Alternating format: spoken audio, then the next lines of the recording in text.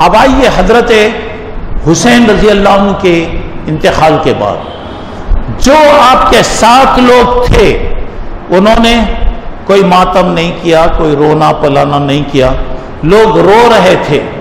हज़रत हुसैन के बेटे जैन आबिदीन रहमत अलैह देखकर बोल रहे हैं, मन खतलना, हमें खतल करने वाले कौन जी?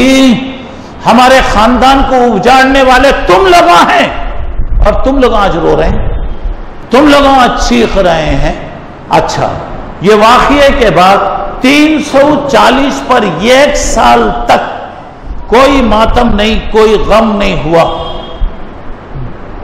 बगदाद में मोइजुद्दौला, एक बादशाह आया, ईरान का था, शिया था, पूरा शीयत की तरफ़ उसका रुझान था। 340 पर एक इस वाक़े के तकरीबन ज़माने के बाद, उसके बाद उसका बेटा 350 पर दो मतलब ये कि तकरीबन 300 साल के बाद, पहली मरतबा बगदाद में हज़रत हुसैन का मातम किया गया, जुलूस निकाला गया, दुकानें बंद किए गए और उसका एहतमाम किया गया।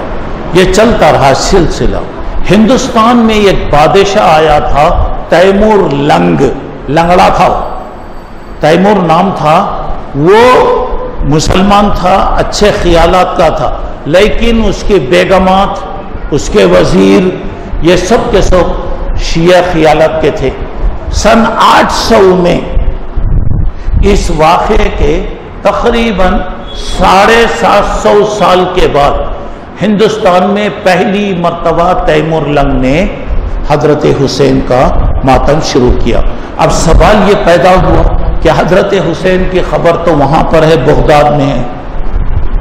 अब उसका मॉडल मंगाया गया। अब ये जो पंजे हैं, ये पंजे गोया ये खबर का मॉडल यहाँ हिंदुस्तान में शुरू किया उसके बाद से ये सिलसिला चलता रहा। अब आइए इस सिलसिले में जो बात है, अब हज़रत हुसैन के नाम से ताजिया किया जाता, मातम किया जाता, सीनों पर मारा जाता, जुलूस निकलता और ये पूरे जुलूस निकालने वाले शिया। और जो भी काम है, मुख्तसर याद रखिए, इस्लाम के सबसे बड़े दुश्मन अगर कोई है तो शिया आज से नहीं 1400 साल से।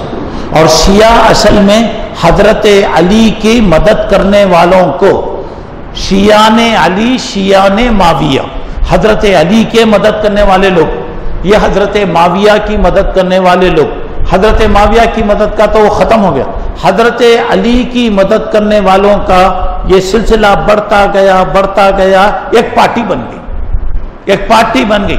मुख्तसर याद रखिए, ये शिया का ईमान इस पर है कि मुसलमान को सताना, मुसलमान को तकलीफ़ देना, मुसलमानों की बेइज्जती करना इनका ईमान जितना हो सकता है, मैं तफसील में नहीं जाता, ये वाकयात में जाने की भी ज़रूरत नहीं है, मगर याद रखिए, दुनिया का सबसे बड़ा हमारा दुश्मन अगर कोई है तो शिया।